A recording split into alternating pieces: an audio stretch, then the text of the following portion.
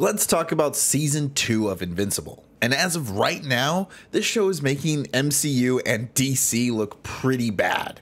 And it really comes down to storytelling. Now, I gotta be honest with you guys. Season 2 had some boring moments for me that kinda took me out of it. However, the show knows the story it wants to tell and it sticks to it. After Omni-Man's wake of destruction and he leaves Mark, it's kinda having to leave our main character to recover. And whereas the first season was about hope and the reality of all things crashing down upon that, this season's the opposite. It's kind of finding that hope whenever the reality of the world constantly keeps kicking you while you're down. And that really is the main theme of this season. When it rains, it pours. Mark's struggles of just everyday things like the will they, won't they romance, because the idea of having a girlfriend is something that every guy wants, but does that person really fit into the life that you truly want to live? Keyword truly want to live because Mark is also trying to figure out what he wants, what's best for him. And I think that's very relatable and a key factor in everything, especially when he has fears of becoming like his father. I am your father. It's not true.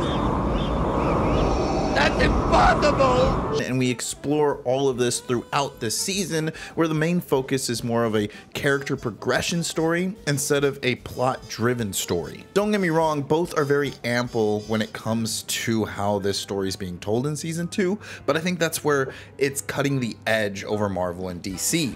We are more focused on the relatability between these heroes that can do godly things than we are kind of patting ourselves on the back and catering to certain types of audience members. You add in the fact that the show is still as action packed as ever, and the action sequences tie into the character progression, whether it's something that a character has achieved and learned, or it's the next step and them having to understand a situation as a whole. The action is part of expressing what a character is going through and feeling and heightening that what cannot be told through just dialogue alone. Take Rudy or Robot for example, whenever he has to go against the Sequids, he has been working on his emotional control. This is both to show how he handles situations and how he actively challenges the world in his own internal conflict, but it doesn't work in his relationship that he's trying to pursue.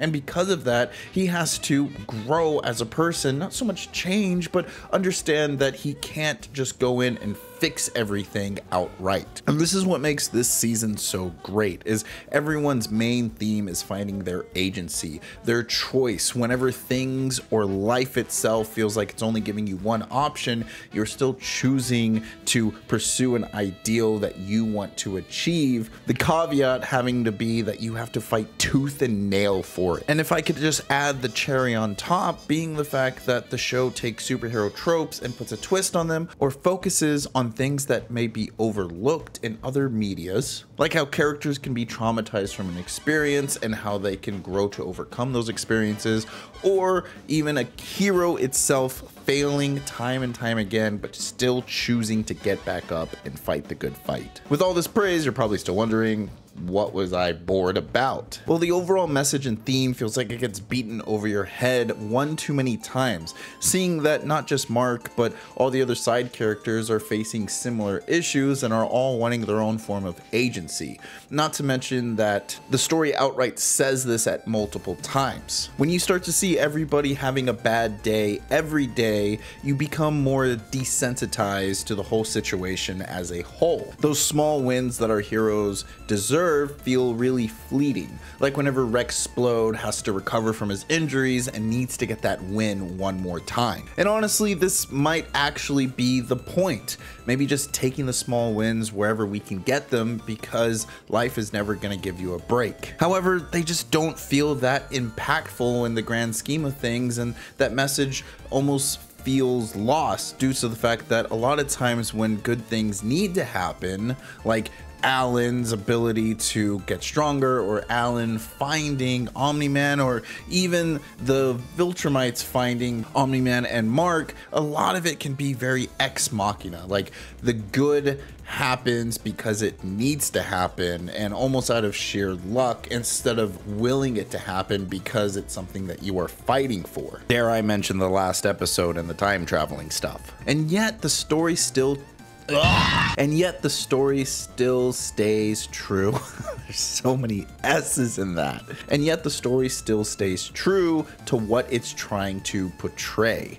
Whereas Mark is focused on not becoming his father, we see that what happens when you take in all these bad experiences and you let them control you, you turn into something much, much worse, where the main villain of this season kind of comes through. And this really feels like a chapter in a much grander scheme, which is why I gotta give Invincible Season 2 an 8 out of 10. Until next time, play nice. Hey, I'm Mario. I like playing video games, watching movies, and Dungeons and Dragons. If you keep getting me in your suggested videos or you're watching this video right here, consider subscribing. It goes a long way. Thank you.